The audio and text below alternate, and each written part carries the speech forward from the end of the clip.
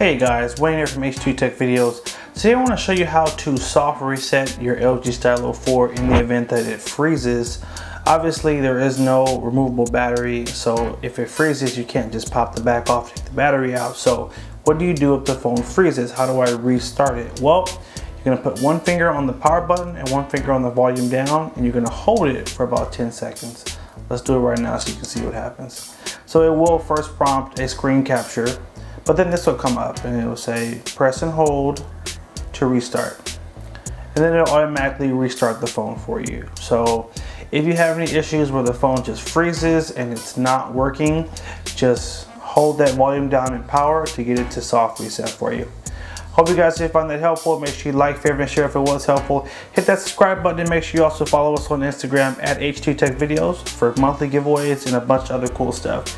Thanks again for watching guys. Take care and have a good one.